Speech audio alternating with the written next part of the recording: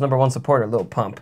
Lil Pump. Um, um, apparently, he didn't register to vote. Yeah, Um, after endorsing Donald Trump at the and going on a whole 11th rant. hour. Yeah, going on a whole rant about Sleepy Joe and everything else, just because you know all he cares about is money, Tax cuts. tax cuts for the rich, baby. That's all he cares about. Um, he did not indeed register to vote, so he didn't even get to vote for said Donald Trump in a Florida race that was relatively important. Yeah, supervisor for the Miami-Dade County Elections Department, which uh, Lil Pump would be registered because that's where he bought a home in Miami Beach. That's labeled his principal residence, and his mortgage records confirm that Lil Pump is nowhere to be found in the voter rolls, um, unless he did vote, which means he probably voted illegally, which might be something that uh, uh, Donald Trump would be concerned about, unless it was for him. But yeah, you're right. Florida would be a very interesting place to um, vote and really um, put your neck out there as a Latino who says the N word in Florida, who um, is a Republican.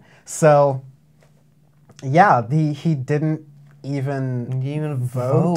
so like, Which is dude, kinda- it- it you're just- such. It's a, such a bitchy move because you you shill out all this stuff. So you're already nominated for the Hard R Award for that because you shill out your own people and stuff just for money. Like that's that's an automatic nomination for the Hard R because double like, trouble because like Lil Pump has been got like uh, again 11th hour nominated for the Hard R award. yeah Uh, for the last for, the like a couple Audioface awards right. for butterfly Doors. for butterfly doors.